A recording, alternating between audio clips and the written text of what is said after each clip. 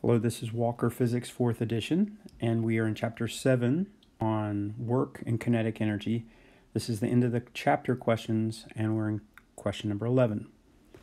A child pulls a friend in a little red wagon with a constant speed. If the child pulls with a force of 16 newtons for 10 meters, and the handle of the wagon is inclined 25 degrees above the horizontal, how much work does the child do on the wagon? All right, so if I have a wagon and I assume this is horizontal ground. And I've got a 25 degree incline in the handle. And your arm would also be in that same line. And my distance is or my displacement is 10 meters. Okay. Then I need to know how much force is going forward. So the tension here is your is your hypotenuse but the but the tension the tension here is equal to the the um, the force whatever it is times the cosine of 25 degrees. Okay so the opposite would be sine. The adjacent is cosine.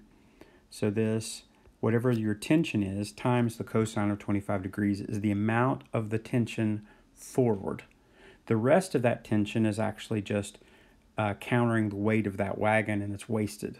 Okay, it's just that you're high, you're taller than the wagon. That's all it is. So you're wasting some of your strain that you're putting on it. So we know that. Um, so work equals force times displacement or force through a displacement. Okay your work is going to be equal to, in this case, f times the cosine of 25 degrees times your displacement, which is 10. And we have 16 newtons is your force, so your work equals 16 times the cosine of 25 times 10. Okay, that is work equals calculator 145. So I've got three here, but I've got two here.